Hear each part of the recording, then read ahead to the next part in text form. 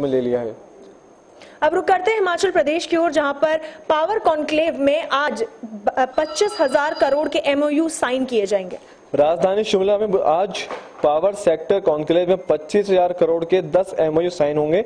Investor meet के लिए निवेश जुटाने को ऊर्जा निदेशालय ने सालों से लटके बिजली प्रोजेक्ट को दोबारा शुरू करने के लिए निवेशकों को तैयार किया है। और आज दोपहर मुख्यमंत्री जयराम ठाकुर की अध्यक्षता में कार्यक्रम होगा।